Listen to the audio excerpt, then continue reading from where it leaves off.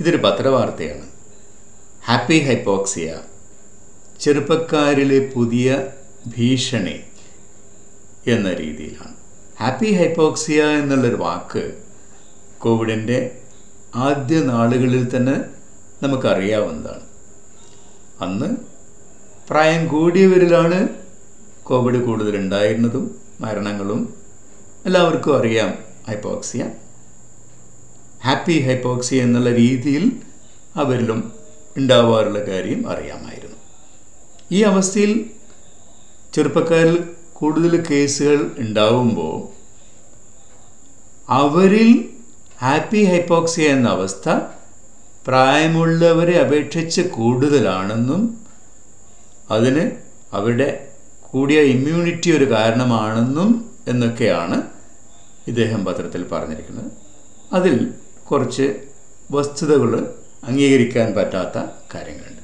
അപ്പോൾ ഇന്ന് നമ്മൾ ഈ ഹാപ്പി ഹൈപ്പോക്സി എന്താണെന്നും അതിന്റെ അടിസ്ഥാനം ശാസ്ത്രീയ കാര്യങ്ങൾ എന്താണെന്നും ഈ പത്രത്തിൽ പറഞ്ഞതുമാതിരി അത്രയേറെ നമ്മൾ ഭീതിപ്പെടേണ്ടതുണ്ടോ എന്നുള്ളതൊക്കെയാണ് നമ്മളിന്ന് പരിശോധിക്കുന്നത്.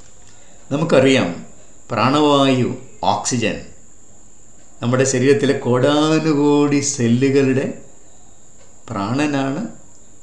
ഒരു നിമിഷത്തിനപ്പുറം വൈകിയാൽ കിട്ടാതിരുന്നാൽ നമ്മൾ ജീവൻ ഇല്ലാതെയാവും എന്നുള്ള കഥ അറിയാം. അന്തരീക്ഷത്തിൽ നിന്നും ഓരോ കോശങ്ങളിലേക്കും പ്രാണവായു എത്തിക്കുന്നത് നമ്മുടെ രണ്ട് അവയവ വ്യവസ്ഥയുടെ അവയവ വ്യവസ്ഥകളുടെ കൂട്ടായ ഒരു മനസ്സോടുകൂടിയുള്ള പ്രവർത്തനത്തിലൂടെയാണ്. രണ്ട് റിലേ ഓട്ടക്കാരെ പോലെ. ഒരു ബാറ്റൻ സ്വീകരിച്ച് ഒന്നാമത്തെ ഓട്ടം കഴിഞ്ഞ് മറ്റേയാളിന് ഏൽപ്പിച്ചു കൊടുത്ത് ഓട്ടം പൂർത്തിയാക്കുന്നത് രണ്ടാമത്തെ ആളാണ്. ഇതിൽ ആദ്യത്തെ ആൾ നമ്മുടെ ശ്വസന വ്യവസ്ഥയാണ്. രണ്ടാമത്തെ ഓട്ടക്കാരൻ നമ്മുടെ രക്തചംക്രമണ വ്യവസ്ഥയാണ്. ആദ്യത്തെ ആൾ അന്തരീക്ഷത്തിൽ നിന്ന് മൂക്കിൽ വെച്ച് വായു ഓക്സിജൻ ഏറ്റുവാങ്ങുകയാണ്. അത് പിന്നീട് ശ്വാസനാളികളിലൂടെ ശ്വാസനാളികളുടെ ഒരുപാട് ശാഖോപശാഖകളിലൂടെ എത്തി കൊടാനുകൂടി നമ്മൾ സ്പോഞ്ചുകൾ എന്ന് പറയുന്ന ചെറിയ അറകൾ ആൽവിയോളൈ അവിടം വരെ എത്തിച്ചു കൊടുക്കുകയാണ്.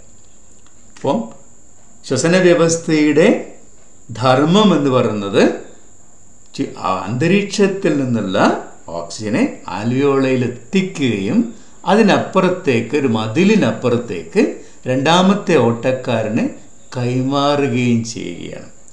ഇപ്പോൾ രണ്ടാമത്തെ ഓട്ടക്കാരൻ എന്താണ് ചെയ്യുന്നത്? ഈ മതിലിനപ്പുറത്ത് നിന്ന് ബാറ്റൻ കൈമാറിയ ശേഷം ഒരു പമ്പും ഒരു പൈപ്പ് സിസ്റ്റവും അതിനകത്ത് ഒരു മീഡിയം ബ്ലഡും അതാണ് നമ്മുടെ രക്തചംക്രമണ വ്യവസ്ഥയുടെ അടിസ്ഥാനം. പൈപ്പ് സിസ്റ്റം അതിലൂടെ ഒഴുകിക്കൊണ്ടിരിക്കുന്ന രക്തത്തെ എപ്പോഴും ചലിപ്പിച്ചു കൊണ്ടിരിക്കുന്ന ഒരു പമ്പ്.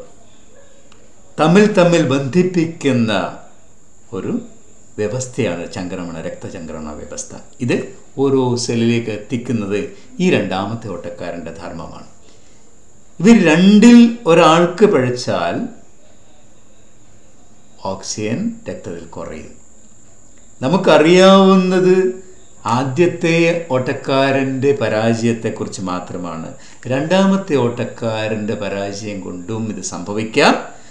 ഒന്നാമത്തെ ഓട്ടക്കാരൻ അന്തരീക്ഷത്തിൽ നിന്നും ആൽവിയോളെ വരെ കൃത്യതയോടുകൂടി അദ്ദേഹത്തിന്റെ ധർമ്മം അത് നടത്തുകയാണെങ്കിൽ പോലും. അപ്പം നമ്മൾ നമുക്ക് പരിചിതമായിട്ടുള്ള ആദ്യത്തെ ഓട്ടക്കാരന്റെ തകരാറുകൾ നമ്മൾ എങ്ങനെയാണ് മനസ്സിലാക്കുന്നത്? നമുക്കറിയാം. നമ്മുടെ ഹൃദയമിടിപ്പും നമ്മുടെ ശ്വാസഗതിയും നമ്മൾ അറിയുന്നില്ല. നമ്മൾ അറിയാതെ അങ്ങ് നടന്നുകൊണ്ടിരിക്കുകയാണ് അത് ചിലപ്പം ബുദ്ധിമുട്ടി ശ്വാസം കഴിക്കേണ്ടി വരുന്ന ഒരവസ്ഥ നമ്മളുണ്ടാവാം. നമുക്ക് അറിയാം awareness of one's own breath ശ്വാസം മുട്ടുന്നു എന്നുള്ളതാണ് അത് കൂടുതൽ കൂടുതൽ ബുദ്ധിമുട്ടുണ്ടാവുന്നത് ശ്വാസം മുട്ട് കൂടുതൽ വരുന്നു.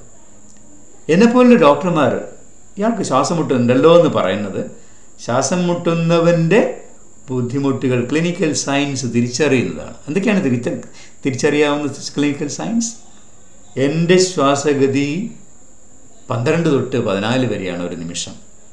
അത് കൂടി ഇരുപത്തിനാലിന് മേലെ മുപ്പതിന് മേലെ പോകുന്നത് ശ്വാസം മുട്ടുണ്ട് എന്നുള്ളതിന്റെ ലക്ഷണമാണ്. അത് ഏറെ ബുദ്ധിമുട്ടോടുകൂടി ശ്വാസം വലിക്കുന്നത് കാണുന്നത് ഈ തോളലിന് മേലെയുള്ള കുഴികൾ രൂപപ്പെടുന്നു നെഞ്ചിന്റെ താഴെ കുഴികൾ രൂപപ്പെടുന്നു. എന്താണ് ഈ കുഴികൾ രൂപപ്പെടുന്നതിന്റെ അടിസ്ഥാനം? നമ്മൾ ആലോചിച്ച് നോക്കുക നമ്മൾ തെയ്യത്തിനും പുരത്തിനും പോകുമ്പോൾ വാങ്ങിക്കുന്ന ബലൂണുകൾ ഓർമ്മയുണ്ടോ?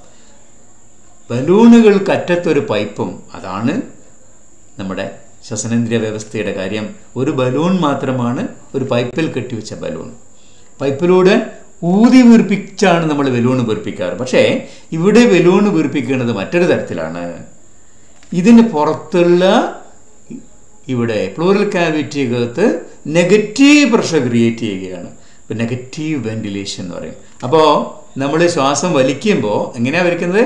Chest wall out and diaphragm down അപ്പോൾ നെഗറ്റീവ് പ്രഷർ ഇവിടെ ഉണ്ടാവുന്നു. ഈ ബലൂണുകൾ വികസിക്കുന്നു. ഈ പാറ്റന്റ് ആയിട്ടുള്ള എയർവേ ആണെങ്കിൽ ബലൂൺ സുന്ദരമായിട്ട് വികസിക്കുന്നു. നമ്മൾ അറിയുന്ന പോലുമില്ല. അപ്പോൾ ഇതിലെവിടെയെങ്കിലും പ്രശ്നങ്ങൾ ഉണ്ടാവുന്നത് എവിടെയൊക്കെയാണ്? ഈ പൈപ്പുകളിൽ എവിടെയെങ്കിലും തടസ്സം വന്നാൽ ഫോറിൻ ബോഡി തടഞ്ഞാൽ അല്ലെ ലാരിങ്സിലൊരു തടസ്സം നീര് വന്നാൽ അല്ലെങ്കിൽ സെക്രീഷൻസ് ഒരുപാട് ഇവിടെ വന്നു കഴിഞ്ഞാൽ ഒക്കെയും ഈ എയർവേ തടസ്സം വരാം. ഈ ബലൂണുകൾക്ക് കട്ടി കൂടിയാലോ? കട്ടി കൂടിയ ബലൂൺ നമ്മൾ വലിച്ചു നോക്കിയിട്ടുണ്ടല്ലോ. ബുദ്ധിമുട്ടാണ് വലി അത് വികസിപ്പിക്കാൻ. അപ്പോൾ നെഗറ്റീവ് പ്രഷർ കൂടുതൽ വേണ്ടി വരും ഇതൊന്ന് ബലൂണ് വികസിപ്പിക്കാൻ. നെഗറ്റീവ് പ്രഷർ കൂടുതൽ വേണമെന്ന് പറയുമ്പോൾ ശ്വാസം ബുദ്ധിമുട്ടിയിട്ടാണ് പുറത്തേക്ക് നമ്മൾ ചെസ്റ്റ് പോകണം അപ്പോൾ പുറത്തുള്ള എയർ ഈ നെഗറ്റിവിറ്റിയിലേക്ക് വരാൻ ശ്രമിക്കും. അതാണ് നമ്മൾ കുഴിയുന്നത്. അതാണ് തോളലിന് മേലെ കുഴിയുന്നത്. അപ്പോൾ ഇത്തരത്തിലുള്ള ബുദ്ധിമുട്ടുകൾ കണ്ടാൽ നമുക്കറിയാം ഇദ്ദേഹത്തിന്റെ ബലൂൺ സ്റ്റിഫാണ് അല്ലെങ്കിൽ ഇദ്ദേഹത്തിന്റെ എയർവേ ബ്ലോക്ക്ഡ് ആണ്. അപ്പോൾ നമ്മളതിന് പല കാരണങ്ങൾ കൊണ്ട് സംഭവിക്കാം. ഒരു ഫോറിൻ ബോഡി ഉണ്ടാവാം ഇവിടെയുള്ള എയർവേ ചുരുങ്ങുന്ന ആസ്മ ഉണ്ടാവാം സി ഒ പി ഡി ഉണ്ടാവാം ഈ ലങ്സിന്റെ ആൽവിയോളൈ എന്ന് പറയുന്നത് നനവുണ്ടാവാം അവിടെ നീർക്കെട്ടുണ്ടാവാം നിമോണിയ അതുപോലെ കാർഡിയക് ഫെയിൽ ഇതെല്ലാം കൊണ്ടും ബലൂണുകൾ വീശിക്കാൻ ബുദ്ധിമുട്ടുണ്ടാവും. അപ്പോൾ ആദ്യത്തെ ഓട്ടക്കാരന് വിളക്കുകയും ഫലപ്രദമായ രീതിയിൽ അന്തരീക്ഷത്തിൽ ഓക്സിജൻ ആൽബുകളിൽ എത്തിക്കാൻ അദ്ദേഹത്തിന് പറ്റാതെ പോവുകയും ചെയ്യുന്നതാണ് നമ്മൾ ഏറ്റവും കൂടുതൽ കാണുന്ന ഓക്സിജൻ കുറയുന്ന അവസ്ഥ. നമുക്കെല്ലാവർക്കും പരിചിതമായിട്ടുള്ള ഇത്തരം ഒരു ശ്വാസം മുട്ടുള്ള അവസ്ഥയാണ്. ഇനിയൊരാലോചിക്കുക രണ്ടാമത്തെ ഓട്ടക്കാരന്റെ പ്രശ്നം. ആദ്യത്തെ ഓട്ടക്കാരൻ ഒരു ബുദ്ധിമുട്ടില്ലാത്ത അദ്ദേഹം ചെയ്യേണ്ടുന്ന പണി അന്തരീക്ഷത്തിൽ നിന്ന് ഓക്സിജൻ ഒരു ബുദ്ധിമുട്ടില്ലാത്ത ശ്വാസനാളികളിലൂടെ ഈ ലങ്ങിലൂടെ ഈ സ്പോഞ്ചിൽ ആൽബിയോളയിൽ അറ്റത്ത് വരെ എത്തിക്കുന്നു. മതിലിൽ ചെന്ന് കൊടുക്കുന്നു. പക്ഷേ ഹൃദയവും ഹൃദയത്തിന്റെ ധമനികളും ഈ ആൽവിയോളയിലേക്ക് രക്തം സ്വീകരിക്കാൻ മതിലിനപ്പുറം എത്തുന്നില്ല. അവരെത്താതെ തിരിച്ചു പോകുന്ന അവസ്ഥ. അങ്ങനെയും ഉണ്ടാവാം ചിലപ്പോൾ പലപ്പോഴും ഹൃദയവൈകല്യങ്ങളാണ് അതിന്റെ കാരണം. ചെറിയ കുട്ടികളിൽ നമുക്കറിയാം ബ്ലൂ ബേബീസ് ലങ്സിന്റെ കുഴപ്പമല്ല ഹൃദയം കാണാൻ കുഴപ്പമില്ല പക്ഷേ എവിടെ നിന്നോ ഇത് ബൈപ്പാസ് ചെയ്ത് പോവുകയാണ്. അപ്പം കഞ്ചൽ ഹാർട്ട് ഡിസീസിന്റെ പ്രായമുള്ളവരിൽ ഇങ്ങനെ അവസ്ഥ ഉണ്ടാവുന്നത് അത് രക്തക്കുഴലുകൾ നമ്മൾ നോക്കൂ ഇതാണ് ആൽവിയോളായി. ഇവിടെ വരെ ഒന്നാമത്തെ ഓട്ടക്കാരൻ ഓക്സിജൻ എത്തിച്ചിരിക്കുന്നു. പക്ഷേ ഇവിടെ ഈ കാപ്പിലറി ഈ മതിലിനിപ്പുറം കാപ്പിലറിൽ ബ്ലഡ് എത്തിയില്ലെങ്കിലോ? അപ്പോൾ രണ്ടാമത്തെ ഓട്ടക്കാരന് പഴച്ചാൽ ഇത് സെല്ലുകൾക്ക് ഓക്സിജൻ എത്തപ്പെടില്ല. അപ്പോൾ ഇവിടെയുള്ള ഘടന നോക്കൂ. ഇതൊരു മതിലാണ്. ഇതിനപ്പുറം ഇൻഡസീഷ്യം എന്ന് പറയുന്ന ഭാഗമുണ്ട്.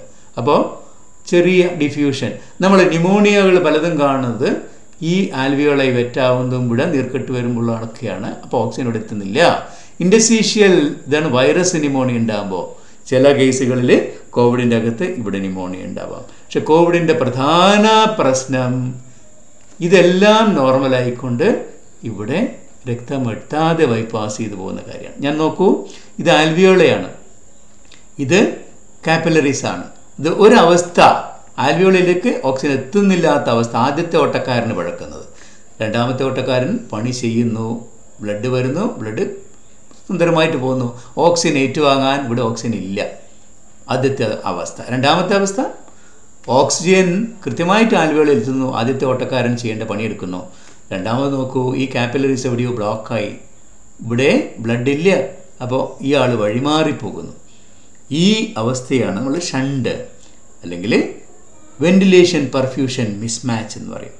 അപ്പോൾ ventilated but not perfused alveoli not ventilated but perfused alveoli അപ്പം ആൽവിയോളയിൽ വൺ ഈസ്റ്റ് വൺ കൃത്യമായ ഓക്സിജൻ എത്തുകയും കൃത്യമായി പെർഫ്യൂഷൻ ഉണ്ടാകുന്ന അവസ്ഥയുണ്ടെങ്കിലാണ് നമുക്ക് ഓക്സിജൻ കൃത്യമായിട്ട് കിട്ടുക. ഒരു ബില്യൺസ് ഓഫ് ആൽവിയോളയിൽ ഇങ്ങനെ നടന്നുകൊണ്ടിരിക്കുന്നതിൽ ക്രമേണ ക്രമേണ ഇത്തരത്തിലുള്ള മിസ്മാച്ചുകൾ കൂടിക്കൂടി വരുന്നതിനനുസരിച്ച് ഓക്സിജൻ കുറയും. അപ്പോൾ ഇത്തരത്തിലുള്ള ഒരു അവസ്ഥ കോവിഡിൽ ഓക്സിജൻ കുറയാനുള്ളൊരു പ്രധാന കാരണമാണ്. ലങ്ങിന്റെ ആദ്യത്തെ ഓട്ടക്കാരന്റെ പിഴവ് കൊണ്ട് ഓക്സിജൻ കുറയുന്ന അവസ്ഥ കുറവാണ്. മിക്കയിടങ്ങളിലും ഈ രക്തക്കുഴലുകളിൽ മൈക്രോ ത്രോംബൈ ഉണ്ടാവുന്നു. അപ്പോൾ വേണ്ട വിധത്തിൽ ആൽവിയോളയിൽ എത്തിക്കൊണ്ട് ഓക്സിജൻ സ്വീകരിച്ച് പോകുന്നതിൽ രണ്ടാമൻ പരാജയപ്പെടുന്നു എന്നുള്ളതാണ് ഈ ഹൈപ്പോക്സിയുടെ പ്രധാന കാരണം. അപ്പോൾ നമ്മൾ ആദ്യത്തെ ഓട്ടക്കാരന് പരാജയപ്പെടുന്നതിന്റെ ലക്ഷണങ്ങളാണ് നമ്മൾ ഈ കാണുന്ന ശ്വാസമുട്ടലൊക്കെ. അതൊന്നും തന്നെ ഇല്ലാതെ നമ്മൾ ഹൈപ്പോക്സിയ ഉണ്ടാവാം രണ്ടാമന് പഴക്കുമ്പോഴും ഇപ്പോൾ കോവിഡിന്റെ ഹൈപ്പോക്സിയയുടെ പ്രധാന കാരണം രണ്ടാമന്റെ പഴവാണ്. ആദ്യത്തെ ആളിന്റെ പഴവ് അപൂർവമായിട്ടാണ് ഉണ്ടാവുന്നത്. ഇൻഡസ്ട്രീഷ്യൽ ന്യൂമോണിയ ഉണ്ടാവാം ചിലപ്പോൾ സെക്കൻഡറി ന്യൂമോണിയ ഉണ്ടാവാം അതില്ലെന്നല്ല പക്ഷേ രണ്ടാമന്റെ പഴവാണ് കൂടുതൽ കാര്യം. ഇനി പറഞ്ഞു വരട്ടെ ഈ പത്ര റിപ്പോർട്ട് പറഞ്ഞതുമാതിരിയുള്ള ഹാപ്പി ഹൈപ്പോക്സിയെക്കുറിച്ച് നമ്മൾ ഏറെ ഭയപ്പെടേണ്ടതുണ്ടോ? അതൊരു സാധ്യത തന്നെയാണ്. പക്ഷേ മിക്കപ്പോഴും ഒരു ലക്ഷണമില്ലാത്ത ഒരാളിന് ഇങ്ങനെ സംഭവിക്കാനുള്ള സാധ്യത കുറവാണ്. എന്തെങ്കിലുമൊക്കെ ലക്ഷണങ്ങൾ ഉണ്ടാവും. അപ്പോൾ ചെറുപ്പക്കാർ മുഴുവൻ ഇനി പൾസ് ഓക്സിമീറ്റർ വാങ്ങിക്കാൻ പോകണ്ട. ഇടയ്ക്കിടെ ഓക്സിജൻ കുറഞ്ഞോ കുറഞ്ഞോ എന്നുള്ള രീതിയിൽ ഭയപ്പെടേണ്ട ആവശ്യം ഇല്ല. ഈ പറയുന്ന അത്രയും നമ്മൾ അതിന്റെ ഭീതിയുടെ ആവശ്യം ഇല്ല തന്നെ. നന്ദി